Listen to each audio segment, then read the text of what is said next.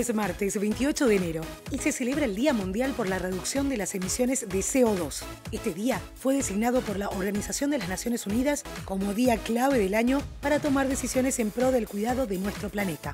Y esto es el Franco Informador, tu mejor opción para estar al día con las noticias, de manera fresca, ágil y divertida, en menos de 10 minutos y sobre la marcha. Soy Soledad Franco. Allá vamos.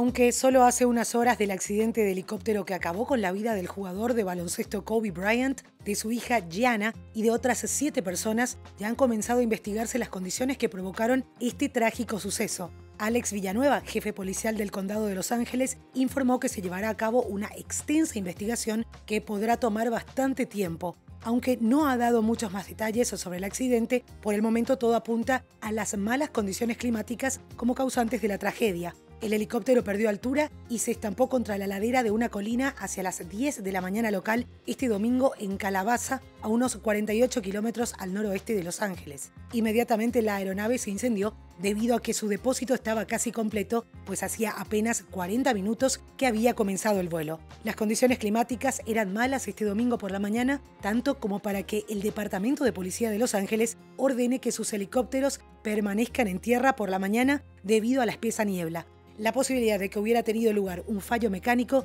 se encuentra prácticamente descartada.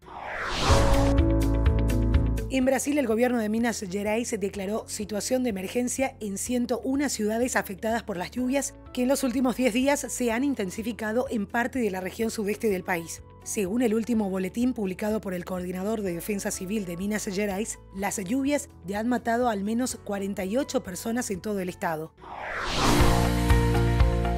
Las elecciones extraordinarias en Perú dejan un parlamento fragmentado según los resultados preliminares. En total, hasta 10 partidos estarían representados en la Cámara. Más de 24 millones de personas habían sido convocadas a votar para elegir a los 130 congresistas.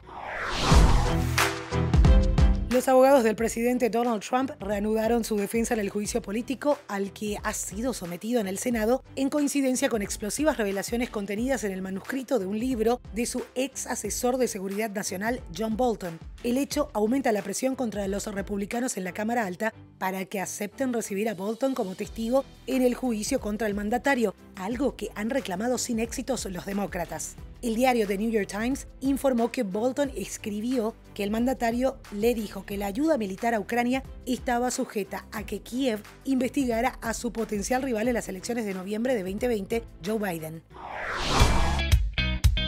A vos que escuchás todos los días este podcast, te pido que puedas seguir también los posteos que hacemos diariamente en Instagram, arroba francoinformador. De esta manera podemos enterarnos de tus gustos o si hay algo que podamos agregar para que puedas seguir disfrutando de este espacio. Dicho esto, seguimos. Una aeronave se estrelló este lunes en el distrito de Yak, en el este de Afganistán, según informaron las fuerzas de seguridad de ese país, en medio de una fuerte confusión luego de que los talibanes aseguraran que se trata de un avión militar estadounidense. La prensa talibana significa que el acceso de las autoridades y los rescatistas es extremadamente difícil, mientras la cadena Fox News citó a un oficial dentro de las Fuerzas Armadas de Estados Unidos que habría confirmado la caída del avión y la muerte de sus cinco tripulantes. La aparición repentina del coronavirus, que ha matado al menos 81 personas en China e infectado a otras en Europa y Estados Unidos, entre otros lugares, destrozó la calma que se había asentado en los mercados financieros en los últimos meses. Estados Unidos tiene cinco casos en cuatro estados, Canadá confirmó su segundo caso y Pekín afirma que registró su primer caso mortal, mientras el gobierno chino extendió las vacaciones del año nuevo y un número mayor de grandes empresas cerró o comunicó a su personal que trabaje desde casa en un esfuerzo por frenar la propagación de la enfermedad. Google, por su parte, publica un mapa interactivo que muestra los casos confirmados activos, los casos sospechosos y los descartados a nivel mundial. Te dejo el link en los detalles del episodio del día. La aplicación de video de formato corto Vine está haciendo su regreso, o algo parecido. Se cerró en 2017 después de que Twitter lo compró, pero uno de los cofundadores ha estado trabajando en una secuela. La aplicación Byte permite a los usuarios grabar o cargar clips de 6 a 5 segundos y los creadores pueden eventualmente cobrar por sus videos. La guerra de las plataformas de streaming no parecen tomarse ni un mini descanso y ahora uno de los jugadores más activos dentro del segmento se encuentra entre los más codiciados por dos activos de las transmisiones. Un reporte de CNBC anuncia que compañías como Apple y Netflix se encuentran en conversaciones importantes para proceder con la compra de Metro Goldwyn Mayer. Según la fuente, el popular estudio del León podría valer un estimado de 10 mil millones de dólares. Si sos uno de los fanáticos de la famosa serie de anime Supercampeones, atenti a lo nuevo que se trae entre manos Bandai Namco. Captain Tsubasa Rise of Champions es el nuevo videojuego de esta clásica serie. Hay que decir que aún no existe fecha oficial para ver el estreno de la entrega.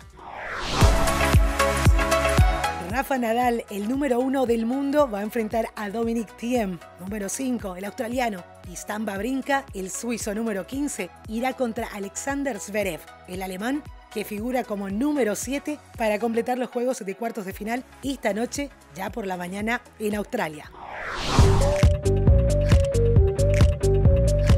Domingo 26 de enero tuvo lugar la edición 62 de los premios Grammy. El evento celebrado en Los Ángeles tuvo como premio inesperado y trágico el fallecimiento del exjugador de la NBA y de los Lakers, Kobe Bryant, junto a su hija y otras siete personas. La ceremonia tuvo como gran protagonista a la precoz estrella del pop Billie Eilish y también a la española Rosalía, la cantante catalana que se llevó el premio a Mejor Álbum Latino de Música Rock Urbana o Alternativa. La figura destacada de la noche, Billie Eilish, hizo historia al ganar cuatro de las principales categorías en un mismo año con solo 18 años. La estadounidense se llevó a casa el Grammy a Mejor Álbum del Año por su debut Where We All Fall Asleep, Where Do We Go, los de Grabación del Año y Canción del Año gracias al sencillo Bad Guy y el de Artista Revelación.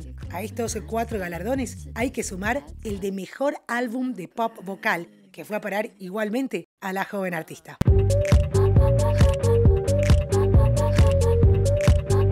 Y esto es todo por hoy, ya estás al día con las noticias. Te agradezco por hacer del Franco Informador parte de tu rutina diaria de información. Te espero nuevamente, mañana a primera hora.